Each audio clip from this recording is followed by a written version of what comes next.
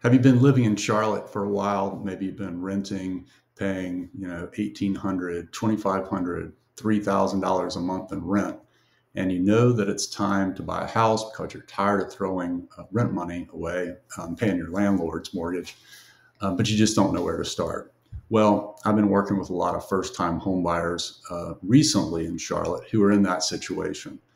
Um, have a good job, uh, make really good money, um, maybe have recently um, you know started a family, young family, and you know know it's time to go buy a house. Well, you know sometimes when you're in a job like I'm in the mortgage business, whatever business you're in, you can probably relate. You deal with things so much every day that you don't even realize some things that you take for granted um, that others don't. And, and one of those is what to do as a first time home buyer. So I just wanted to create a video to talk to you and hopefully answer some of the questions that this young couple had. You know, one thing that they want to know is are there any benefits for being a first time homebuyer? Well, if you make really good uh, money and you have good credit, and honestly, there's not a lot of benefits.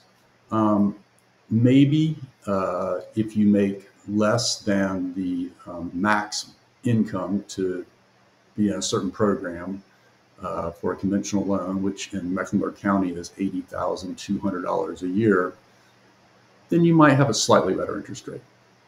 Maybe in, instead of 7%, for example, it's 6.75%. Um, but if you make over that, really the only benefit is that you can put 3% down um, instead of 5%, which you know can be a big difference. You know, you also could get a slightly better interest, uh, sorry, slightly better rate on your mortgage insurance. Again, nothing crazy, but every little bit helps. Uh, another thing that I get a question on a lot is down payment assistance programs. Really, what I've found over many, many years being in the mortgage business and doing a lot of down payment assistance programs is if you have the money for a down payment, it's really not a good deal. Um, if you don't have the money for a down payment, then it's a great deal because there's no other way to buy a house. The reason is that uh, whatever program you use, North Carolina has a down payment assistance program. As a mortgage broker, I have access to a lot of different more uh, down payment assistance programs. The, di- the reason is the interest rate's going to be higher. Um, also, uh, there's going to be a 1% origination fee. That's 1% of the mortgage amount.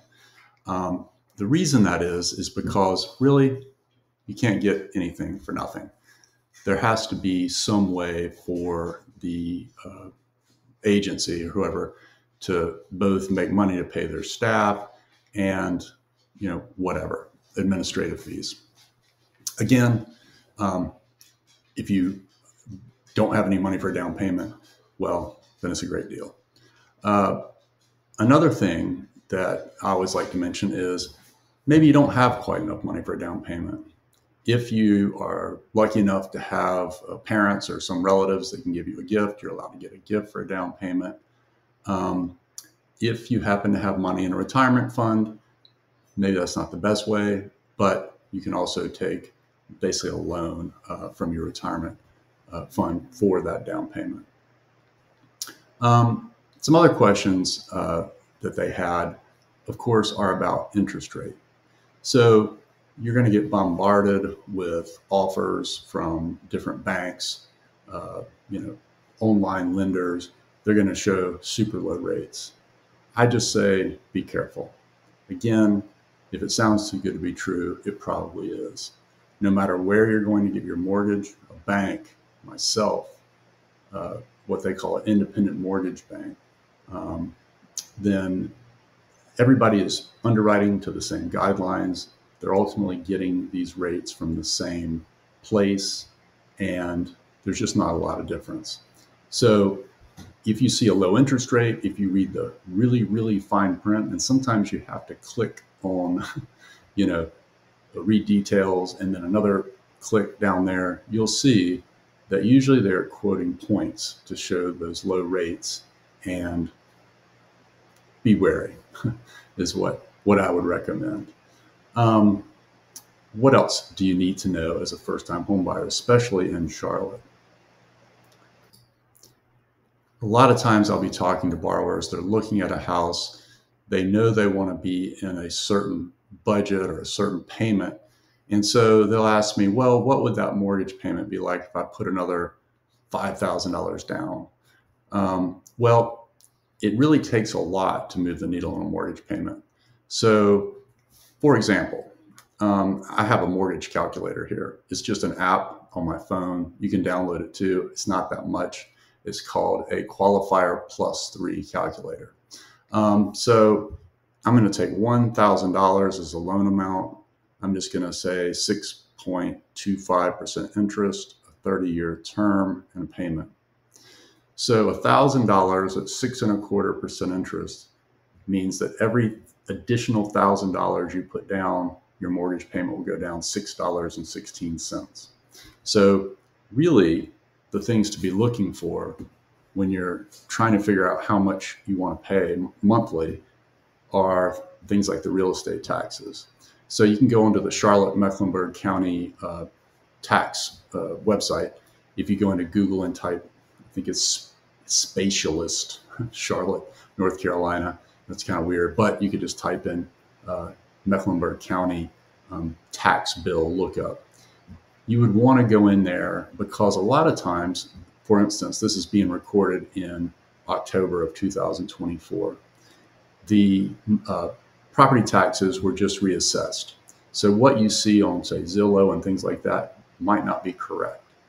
You would want to go into the Mecklenburg County tax website and look up the property and see what the annual property taxes are obviously divide by 12, and that'll be your uh, monthly um, portion of your tax uh, bill uh, that's added into your monthly mortgage payment.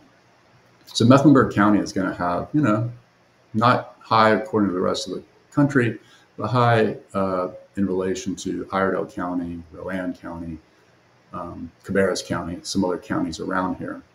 Um, now, if you're buying new construction, that's going to probably be the highest because it's going to be based on what the sales price of the home is. About every four years, properties are reassessed.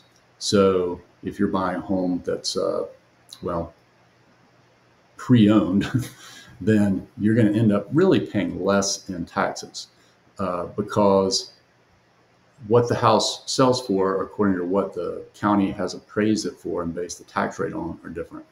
Um, uh, you're going to end up long story short, paying less in taxes.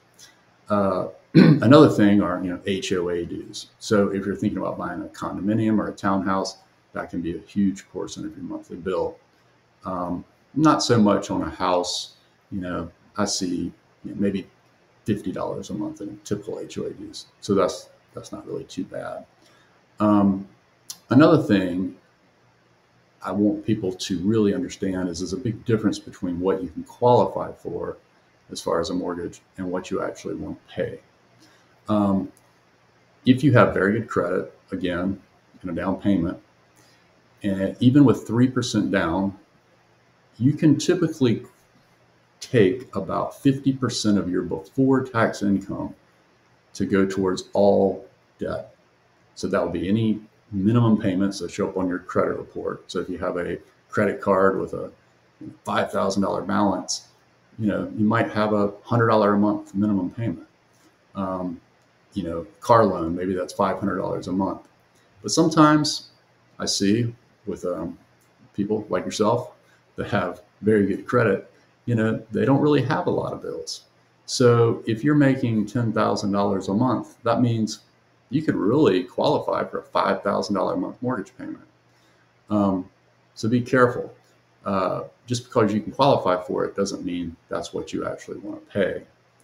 Um, so talk to a mortgage professional like myself um, and get pre-approved before you go out and look at homes so you can really be open-minded and clear-eyed about what things actually cost monthly. So I'll just leave that there.